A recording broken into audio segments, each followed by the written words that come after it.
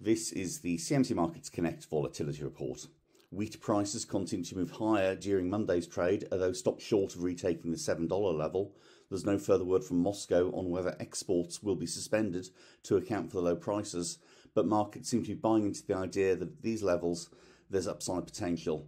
One day vol on the US wheat contract sat at 37.84% compared to 34.83% for the month. A turbulent start to the week as markets attempted to account for the latest round of uncertainty in the banking sectors saw the Hong Kong Equity Index posting elevated levels of price action. The Hang Seng traded in a 2% range, closing towards the day's lows.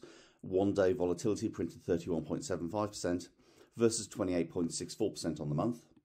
Both fiat and cryptocurrency saw a notable retracement in terms of volatility on Monday, with the one day figures typically printing below the month's equivalents, despite some notable selling in digital assets mid afternoon. There was the occasional outlier, such as Stellar Lumens, which saw a one day print of 59.61% against 56.97% for the month, but both asset classes were relatively subdued.